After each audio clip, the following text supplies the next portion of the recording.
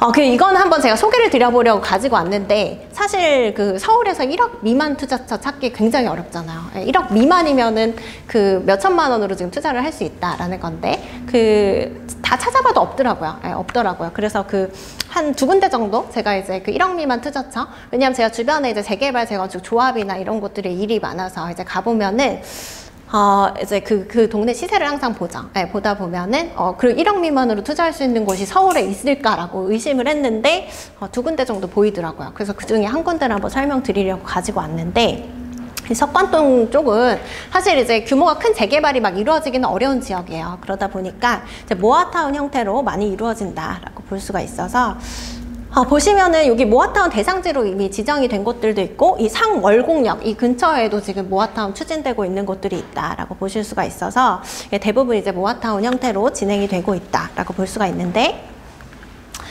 이제 모아타운은 서울시에서 추진하는 정책이죠. 근데 장점과 단점을 한번 보시면은 사업 속도를 되게 빠르게 해주겠다라는 거예요. 그래서 모아타운은 뭐 4, 5년이면 입주하게끔.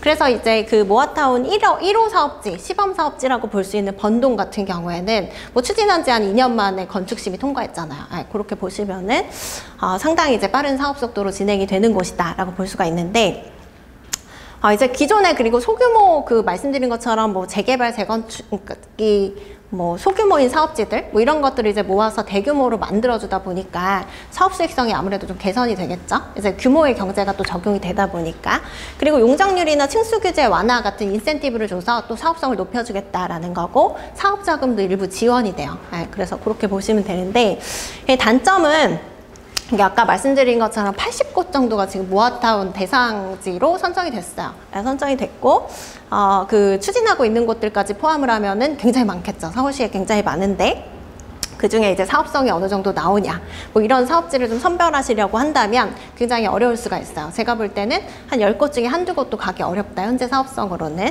아, 그래서 그런 것들을 좀 주의해서 보실 필요가 있고 그리고 이게 모아타운 같은 경우에는 그냥 그 뭐 빌라나 다가구, 단독주택, 그리고 뭐 원룸 이런 것들을 매수하시는 거라고 보시면 되는데 그러다 보니까 이제 아까 말씀드린 것처럼 재개발 분양 자격이 적용이 돼요. 그러면 너무 복잡하겠죠. 그래서 땅만 가지고 있는 경우, 뭐 건물만 가지고 있는 경우, 무허가 건물, 뭐 여러 가지 이제 다양한 분양 자격, 예, 요건을 갖춰야 이제 그 받을 수 있는 부분들이 있어서 입주권이 나오는 건지 예, 반드시 보셔야 되고 신축 같은 경우에 아까 세제 혜택 때문에 접근하려고 하려고 하시는 분들 많을 텐데 그러니까 그런 경우에 이제 모아타운 이제 권리 선정 기준일이라는 게 있어요. 그래서 잘 보고 투자를 하셔야지 신축 같은 것들 잘못 투자하시면 입주가 안 나올 수 있다. 네, 그런 것들을 사전에 잘 검토하셔야 돼요. 그래서 모아타운은 사업성이 기본적으로 떨어지는 사업이기 때문에 예, 그 사업성이 좀 안정적으로 이제 나올 수 있는 그런 사업지 선별이 필요하고 그리고 이제 단독 입주권이 나오는 것인지 반드시 사전에 검토를 하고 계약서에도 이제 특약 작성을 하셔야 된다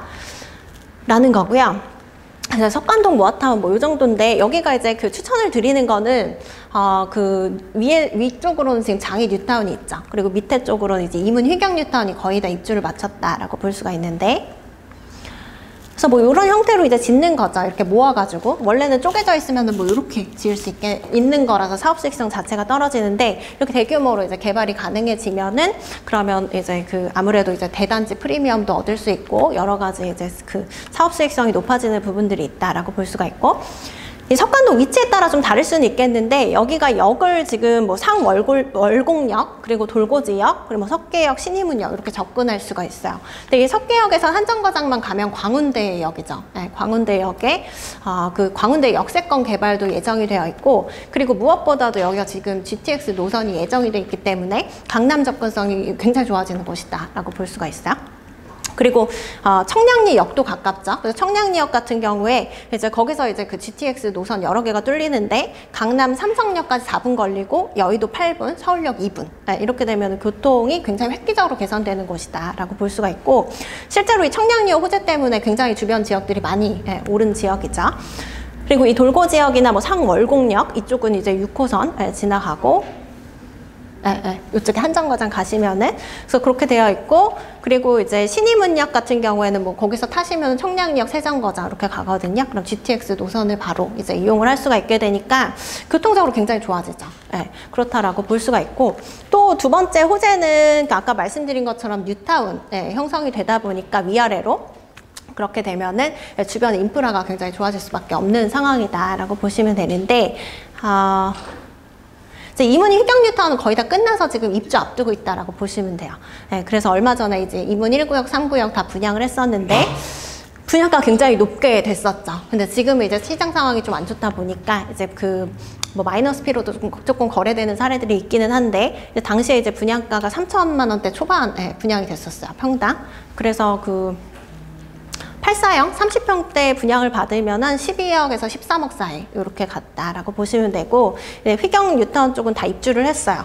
어, 한 군데 빼고 네, 그래서 입주를 했는데 뭐 가격선이 이런 정도로 지금 형성이 되어 있다라는 거고 그래서 아까 말씀드린 대로 내가 이제 어떤 그 뭐 석관동 모아타운에 투자를 한다라고 하면은 그 내가 사는 그 주택의 객관적인 가치를 보시고 거기에 이제 프리미엄이 얼마나 붙어 있는지 보셔야 되는 거죠. 네, 그렇게 보셔야 되는 건데 이 객관적인 가치는 아직 이제 모아타운 같은 경우는 대부분 사업 초기 단계이기 때문에 권리가액을 정확하게 알 수는 없어요. 근데 대충 이제 감정평가한 자료라던가 아니면 이제 공시 가격 같은 것들로 또 추정을 해보시는 건데 그 가격에 이제 프리미엄이 붙어 있는 그러면 매매가에서 빼시는 거죠. 그 객관적인 가치를.